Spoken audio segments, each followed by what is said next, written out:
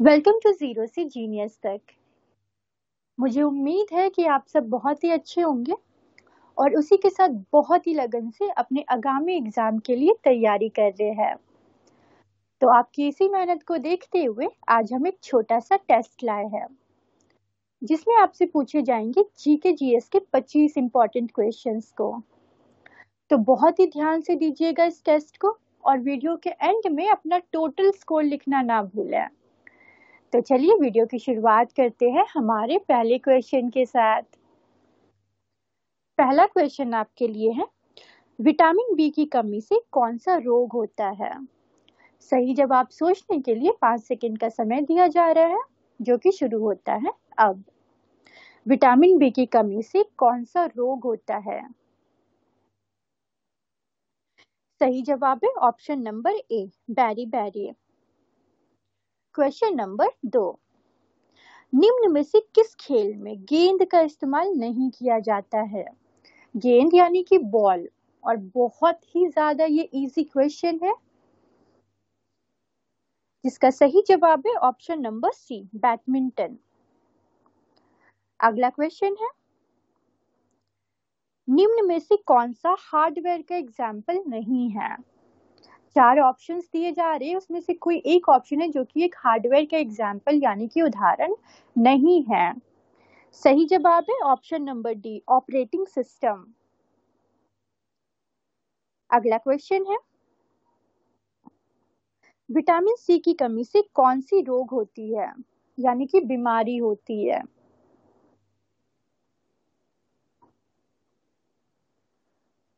सही जवाब है option number B vitamin C की कमी से स्कवी बीमारी होती है। अगला क्वेश्चन है मेक इन इंडिया कार्यक्रम का लोगो क्या है? मेक इन इंडिया कार्यक्रम का लोगो क्या है? शेर, हाथी, चीता या कंगारू? जिसका सही जवाब है ऑप्शन नंबर ए शेर, यानी कि टाइगर अगला क्वेश्चन है, भारतीय हॉकी टीम ने 41 साल बाद जर्मनी को हराकर टोक्यो ओलंपिक में निम्न में से कौन सा एक पदक जीत लिया है?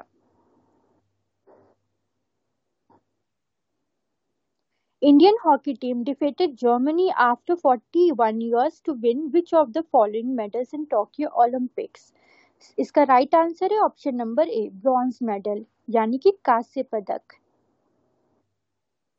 अगला क्वेश्चन भारत के किस राज्य में, जाड़े के मौसम में, यानी कि विंटर सीज़न में भी बारिश होती है? काफ़ी बार आपने इसके बारे में सुना होगा। सही जवाब है option number B Tamil Nadu. Tamil Nadu में विंटर सीज़न में भी बारिश होती है। तो अगले क्वेश्चन की ओर बढ़ती है, जिसमें कि आपसे पूछा जा रहा है, जनसंख्या का अध्ययन किया जाता है। चार विकल्प है एक विकल्प सही चुनना है, जिसमें कि जनसंख्या, यानी कि पॉपुलेशन की स्टडी की जाती है। और इसका सही जवाब है डी डेमोग्राफी तो अगला क्वेश्चन है आपके लिए। डैश एक इनपुट डिवाइस का उदाहरण है। कोई एक विकल्प है जो कि एक इनपुट डिवाइस का उदाहरण, यानी कि एग्ज़ाम्पल है। जिसका सही जवाब है option number C scanner scanner एक इनपुट डिवाइस का उदाहरण है, ध्यान ज़रूर रखिएगा। अगला क्वेश्चन राजीव गांधी, राष्ट्रीय उड़ान संस्थान किस राज्य में स्थापित किया गया है? बहुत ही खूबसूरत एयरपोर्ट है ये। जिसका सही जवाब है ऑप्शन नंबर बी महाराष्ट्र। अगर आपने अभी तक इस चैनल को सब्सक्राइब नहीं किया है तो आपसे रिक्वेस्ट करूँगी कि प्लीज़ आप अपने फ़ोन के इंटरफेस बटन पर क्लिक करके चैनल को सब्सक्राइब कर दीजिए। उसी के साथ बेल आइकन को दबा के नोटिफिकेशन में ऑल कर दीजिए। धन्यवाद। वीडियो को कंटिन्यू करते हैं हमारे इलेवेंथ क्वेश्चन के साथ और यहाँ पूछा जा रहा है, कौन राज्यपाल को उसके कार्यालय से हटा सकता है? Who can remove the governor from his office सही जवाब है ऑप्शन नंबर ए राष्ट्रपति। राष्ट्रपति। तो अगला क्वेश्चन है, राधा रेड्डी का संबंध निम्न में से किससे है? Radha Reddy is related to which of the following options? सही जवाब है option number D Kuchipudi. Next question है कौन सा यूरोपीय यात्री कभी वापस यूरोप ना जाकर भारत में ही बस गया। Which European traveller never went back to Europe and settled in India सही जवाब है ऑप्शन नंबर सी मनुची ये नाम ज़रूर याद रखिएगा, अक्सर एग्ज़ाम में ये क्वेश्चन पूछा जाता है। अगला क्वेश्चन है भारत के महान्यायवादी की नियुक्ति से संबंधित अनुच्छेद, यानी कि आर्टिकल कौन सा है? सही जवाब है आर्टिकल 76 ऑप्शन नंबर सी इसका सही जवाब है। अगला क्वेश्चन है, नागिन झील डैश में स्थित है।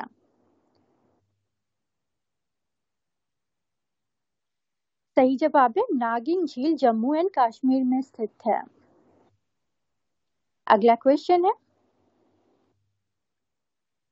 राष्ट्रपति किस अनुच्छेद के अंतर्गत लोकसभा को भंग कर सकता है? Under which article can the president dissolve the Lok Sabha? सही जवाब है आर्टिकल 85 आर्टिकल 85 इस क्वेश्चन को ध्यान ज़रूर दीजिएगा। अगला क्वेश्चन बहुत ही इजी है, जिसमें पूछा जा रहा है हाफ़ गर्लफ्रेंड नामक पुस्तक किसने लिखा? हाफ़ गर्लफ्रेंड जिसपे एक मूवी भी बन चुकी है, जिसके अर्जुन कपूर और श्रद्धा कपूर मीन लेड में थे। और इसका सही जवाब है ऑप्शन नंबर सी चेतन भगत। इन्होंने ये पुस्तक लिखी थी। तो अगला क्वेश्चन है। मध्य प्रदेश में सबसे लंबे समय तक। मध्य प्रदेश में सबसे लंबे समय तक मुख्यमंत्री कौन रहा? राइट आंसर है डी, शिवराज सिंह चौहान। और ये जो है, अभी भी मुख्यमंत्री है वहाँ के। अगला क्वेश्चन है, हाल ही में राष्ट्रीय एकता दिवस यानी कि नेशनल यूनिटी डे कब मनाया गया?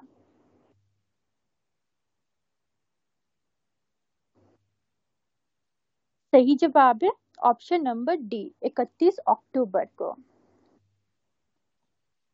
अगला क्वेश्चन आपके लिए। शब्द चाइना मैन किस खेल से संबंधित है? चाइना मैन शब्द किस खेल से संबंधित है? और इसका सही जवाब है ऑप्शन नंबर डी क्रिकेट से। नेक्स्ट क्वेश्चन है। अरावली पर्वत का सर्वोच्च शिखर क्या कहलाता है? सर्वोच्च शिखर यानी कि highest peak What is called the highest peak of the Aravalli mountain? सही जवाब है ऑप्शन नंबर ए गुरु शिखर। अगला क्वेश्चन है, पतंजलि का संबंध किससे है? ये भी इजी क्वेश्चन है काफ़ी, जिसका सही जवाब है डी योग दर्शन से। अगला क्वेश्चन भारतीय रेल का राष्ट्रीयकरण कब हुआ? ये इम्पोर्टेंट क्वेश्चन है ये भी। सही जवाब है। भारतीय रेल का राष्ट्रीयकरण हुआ 1950 ईस्वी में। नेक्स्ट क्वेश्चन राज्यसभा के संसदीय का कार्यालय क्या होता है? राज्यसभा के सदस्य का सॉरी सदस्य का कार्यालय क्या होता है? राज्यसभा के सदस्य का कार्यकाल क्या होता है? इसका सही जवाब है ऑप्शन नंबर सी छह साल।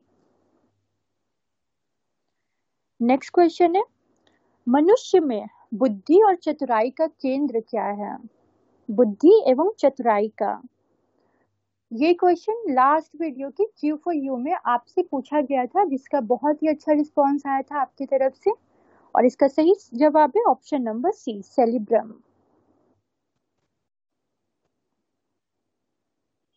आज के इस वीडियो में आपके लिए क्यू फॉर यू में क्वेश्चन है? सांची में स्थित बौद्ध स्मारकों का निर्माण किसने किया था? चार विकल्प दिए जा रहे हैं। सही जवाब आपको पता है तो करना ये है। सिंपली कमेंट बॉक्स में जाइए। क्यू फॉर यू मेंशन कीजिए। उसी के साथ सही ऑप्शन लिख दीजिए। लास्ट वीडियो में भी बहुत ही अच्छा रिस्पांस मिला था आपसे, उसके लिए बहुत बहुत धन्यवाद। इस वीडियो को भी अधिक से अधिक शेयर कीजिएगा और इसी तरीके से हमें प्रोत्साहित करते रहे। धन्यवाद, आपका समय शुभ हो।